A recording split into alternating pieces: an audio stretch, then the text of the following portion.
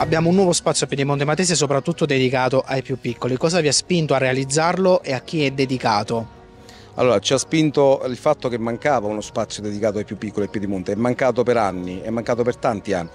E, e, questo spazio volevamo costruirlo insieme alla città, non da soli e avevamo bisogno di tutti. In realtà il parco è della città ed è per i piccoli perché, come dicevo, in Italia solo il 10% dei bambini tra i 3 e i 10 anni può giocare all'esterno, può giocare in un parco, in uno spazio pubblico.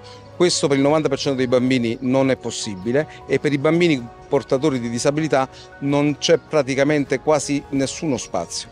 L'altro elemento importante era dedicarlo a una persona di Piedimonte, una persona che ha avuto un destino particolare, Vincenzo Dall'Estro, era importante testimoniarlo in questo modo e dare anche un messaggio di, di amore di fratellanza che fosse per tutti, fosse ad esempio per i bambini, per i più piccoli, che venendo al parco e leggendo il suo nome si domanderanno chi era Vincenzo Dall'Estro. E approfitto per ringraziare due persone che ci hanno dato una mano stanno qui con me, due persone straordinarie che ci hanno dato veramente una, una mano enorme.